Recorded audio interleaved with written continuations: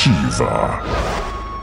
A female of the four-armed Shokan race, Sheeva once served as protector of Queen Sindel.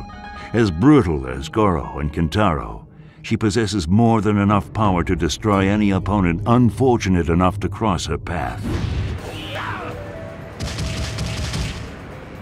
Sheeva is similar to Frost in that it's a female version of a favorite character.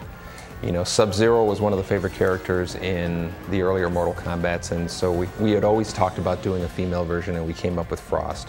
Goro was clearly one of the most, you know, iconic characters in Mortal Kombat 1, and so for Mortal Kombat 3, we decided to come up with a female version of it, and we wanted her to be a little bit more nimble, a little bit more, um, you know, flexible than this big boss character, so we shrunk her down a little bit, made her more agile than Goro was.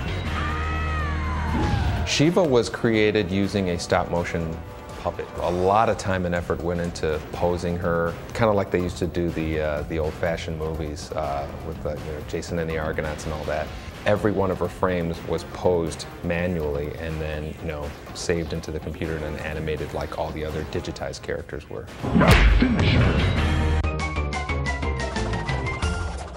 Sheeva wins. Friendship. Friendship Again?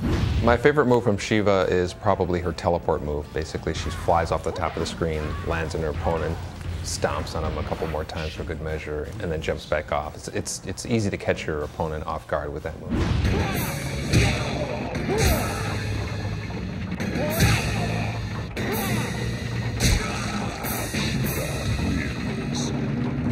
fatality.